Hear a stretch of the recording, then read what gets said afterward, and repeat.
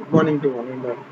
Uh, this is Dr. Vijay Kumar, uh, working as an assistant professor in the Department of Mechanical Engineering from St. Peter's Engineering College, Hyderabad. Uh, today I would like to give lecture on the uh, ocean energy. It is from the subject uh, subject name is renewable energy sources from uh, unit 5.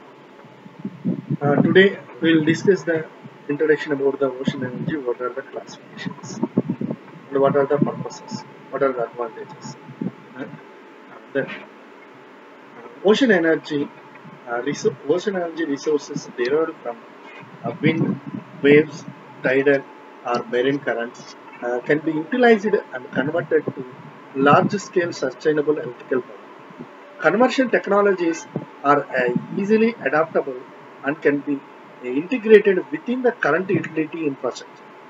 However, ocean energy has many forms like tides, surface waves, ocean circulations, salinity, and thermal gradients.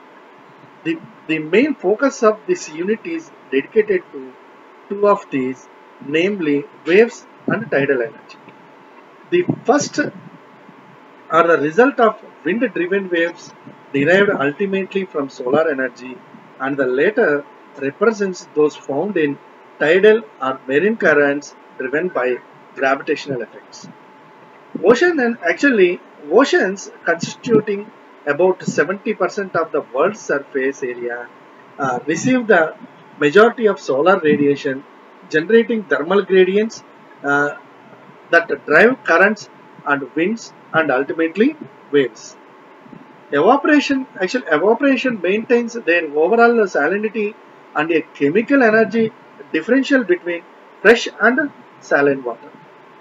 Uh, gravitational pulls of the moon and the sun impact in, uh, impart energy to the uh, ocean in the form of tidal currents which are significant only where mass and ge- uh, geometries result in uh, uh, resonance near a uh, 12 hours period.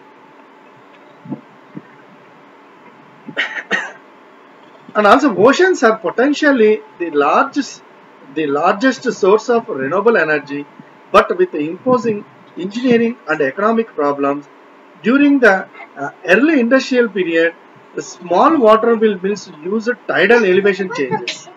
Around uh, uh, around uh, in the 20th century tidal plants utilizing large dams and turbine driven generators uh, were constructed for electrical power in France, Russia, and China. Non tidal ocean currents are generally too slow to be economically attractive. Uh, because wave energy is maximized at high latitudes and on the western uh, continental coast continental coasts research on wave energy extraction has been carried out on for several decades by Norway and the United Kingdom. The, the basic research has been conducted on the salinity gradient source, but no useful uh, systems have yet emerged. Wind energy farms well offshore have been installed in Sca- Scandin- uh, Scandinavia and elsewhere, solving some of the environmental problems associated with the land installations. And the, uh, the ocean is the and also the ocean is the largest source of uh, deuterium and trito, uh, tritium uh, potential fuels for fusion power generation. The ocean the ocean energy provides information about the use of resources of the world's oceans as an energy source. This may be in the form of mechanical energy from waves, tides, or currents, or in the form of thermal energy from the sun's heat. Uh, this later source derives useful energy from the temperature difference between warmer surface waters and colder waters at uh, greater depths. This temperature difference can be exploited by a process known as ocean thermal technology conversions it can we can we can say that in the short form OTEC.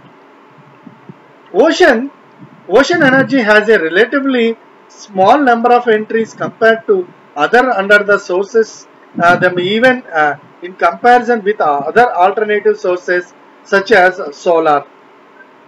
This reflects the fact that there has been relatively little exploration of this source.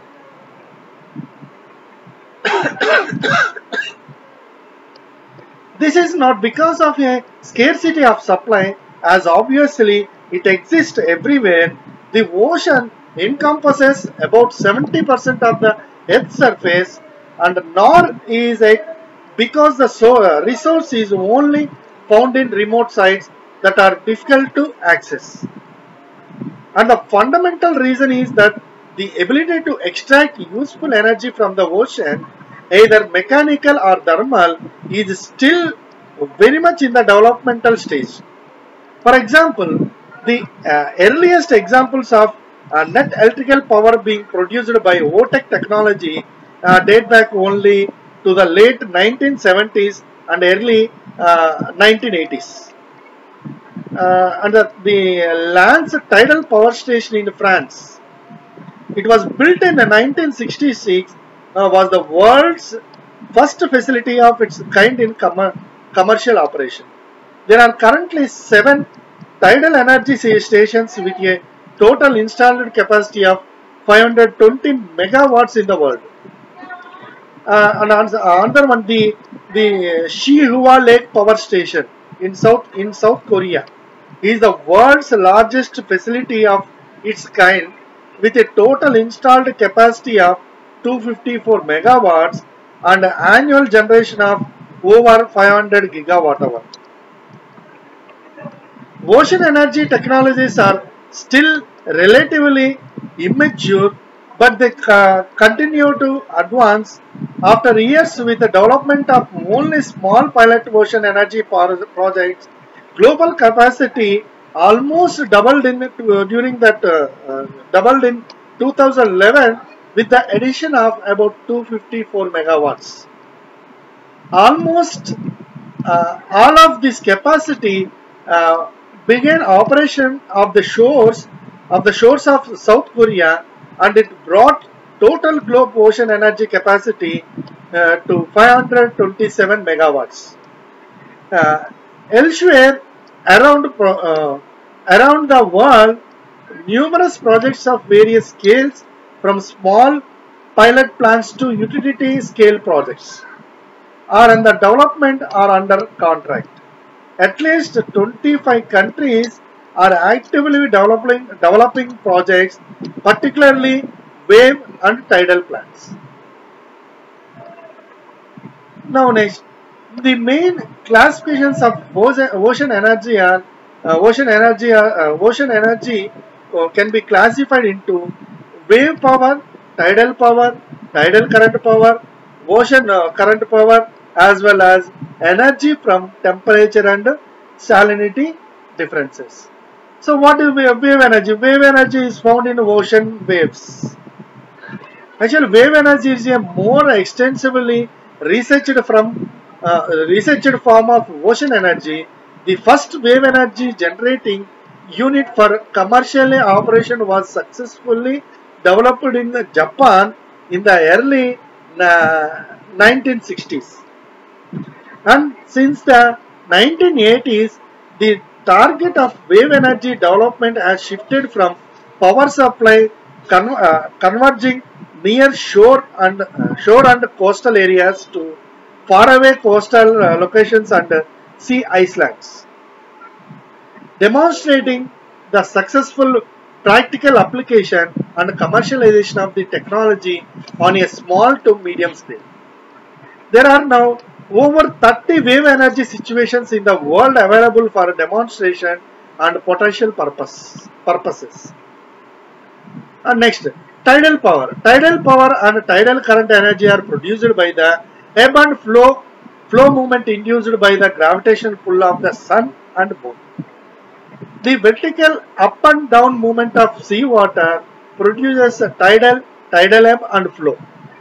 Uh, is known as potential energy, while the horizontal movement of seawater produces ocean currents known as kinetic energy. So from this uh, we can get the potential energy for the uh, up and down movement of the seawater will get the potential energy uh, potential energy for horizontal movement of the seawater produces the kinetic energy and next and tidal current and ocean current energies generates electricity by using the mechanical power from the horizontal movement of seawater. An experimental generator with a capacity of 2 kilowatt uh, was installed uh, 50 meter high 50 meter under the sea in the United States United States of Florida. United States state of Florida in 1976 later later a 20 kilowatt ocean current generator was developed by United States based uh, OEK company in 1985 followed by the uh, undersea installation and operation for a year of a 1.5 meter diameter 3.5 kilowatt ocean current power generator by University of Yam in Japan in 1988. Research on tidal currents was conducted in the Strait of Messina by experts from Italy in 1996 and an experimental power station with a capacity of 120 kilowatt was put into operation in, in 2004 and uh, a 300 kilowatt tidal current generator for experimental purposes was installed on the west, co west coast of the United Kingdom in 2003.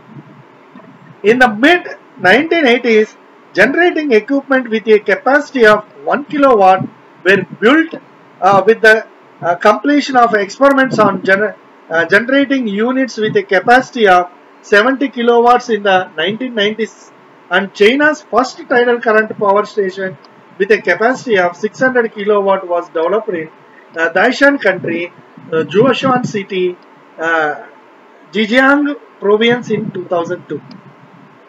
And ocean current, uh, ocean energy results from density and pressure gradients caused by an uneven distribution of seawater temperatures and salinities. Temper uh, and the temperature uh, next temperature gradient energy is a result of different temperatures between the upper and lower layers of the ocean at low latitudes due to the uneven absorption of solar radiation and the uh, radial transform, uh, transfer of heat through the ocean circulations. And last one, salinity gradient energy is the energy created from the differences difference in salt concentration uh, between seawater and fresh water when a river flows through the estuary into the sea. The utilization of salinity gradient energy has a relatively short history. Application technology in this area is basically at the experimental stage and no substantial progress has been achieved because of inhibitive costs due to for formidable technical challenges. So we'll uh, we'll continue in the next class. Uh, so next class we'll discuss about the um, what are the class, what are the types, how how the wave energy will be converted into electrical power, uh, ocean, uh, I mean thermal, uh, thermal, uh, the uh, principle of ocean thermal energy we will discuss in the next lecture. Thank you one and all.